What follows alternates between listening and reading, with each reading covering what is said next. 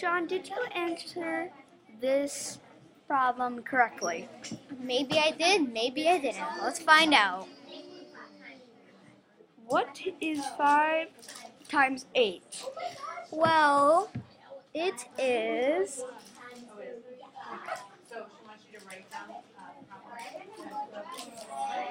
forty. Good. You put the 0 down and you carry the 4. Oh, okay. Now. Sorry, that is bad four. now what is 5 times 4?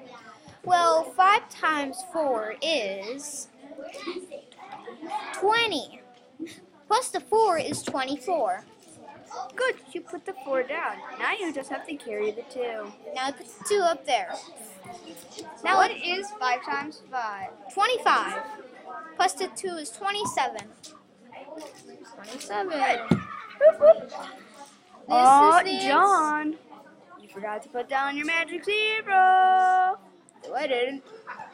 Okay, maybe I did. But let's first actually do this problem without the magic zero.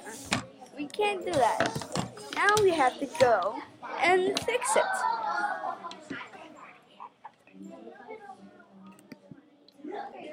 Okay, so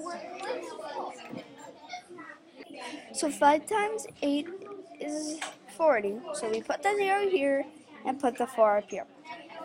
4 times 5 is 20 plus the uh, t- 2 is or plus the 4 is 24.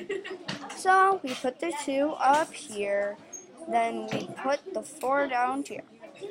5 times 5 is 25, plus the 7 is 27. Or plus the 2, which is 27. 6. uh, Okay.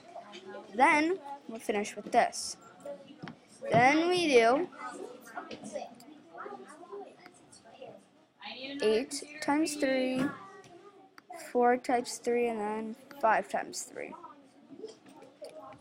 And 8 times 3 is is 24.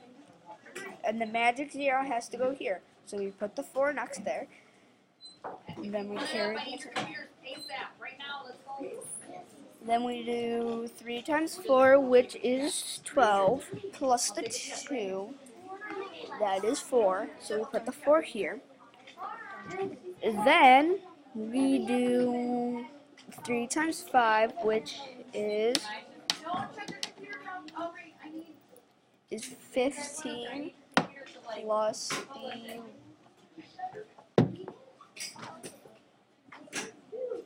plus the 1. Eh?